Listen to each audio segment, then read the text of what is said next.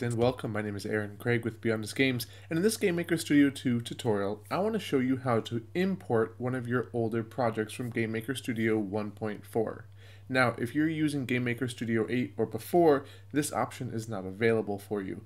But if you have Game Maker 1 projects that you want to import and start using in Game Maker Studio 2, they have a feature for that, and it actually works very well. So once you load up Game Maker Studio 2, you have this button right over here that says import. And what we're going to do is we're just going to click on that. You'll find your project, you'll open it up, and you'll need the .gmx file. And you'll open that up, and then it's going to come up with a window of where you want to save this new GameMaker Studio 2 project and what you want to name it. We will go ahead and name it the same and save it in the default location. And then it's going to import that project and you can see up here that it's running through a lot of different uh, parts of the project and it's saving that. And then it prints out this right here. It is a compatibility report. So I'm going to go ahead and maximize this and you can see that it has done a lot of different things.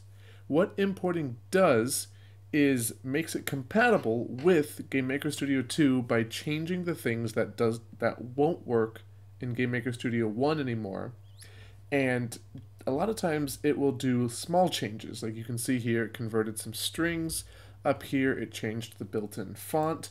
But there are also times when it is going to actually create a script for you because an older function no longer works or you you have something that you're trying to do that GameMaker Studio 2 doesn't know how to handle, so it actually takes your code, makes a custom script, and then puts that in place of where it was called.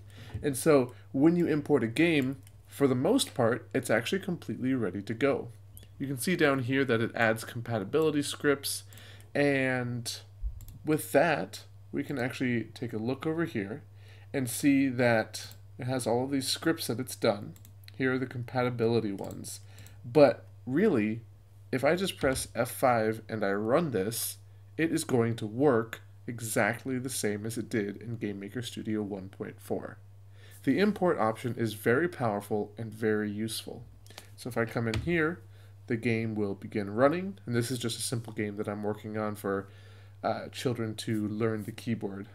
So it works, it's great, and there's very little that you have to do.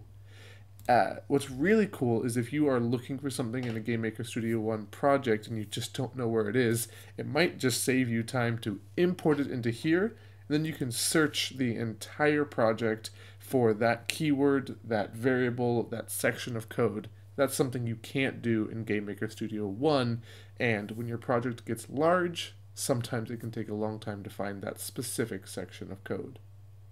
But that's all I've got for you guys. It's a very simple, easy thing that they've implemented. If you need any help with that, then you can jump onto their forum. If there's any bugs or something doesn't work, they're still working those out. And if you had a lot of custom scripts or things in your first in GameMaker Studio 1, then there could be issues, but probably you'll just have a lot of compatibility scripts that they have set up and that they have created to work. If you need to go in and change those, it's a little more work, but it certainly can get done. And it's a great way to upgrade your project if you want to jump into Game Maker Studio 2 and enjoy the features that it has. So, thank you for joining me, guys. That's all I've got for you. As always, have fun making great games, and I will talk to you later. Hey there. Uh, I've got a Patreon, if you didn't know. If you'd like to support me, that would be great.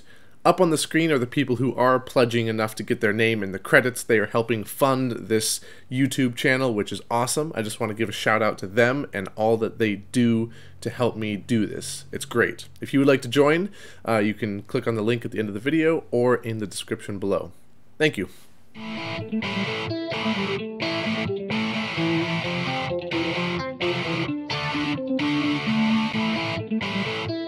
you.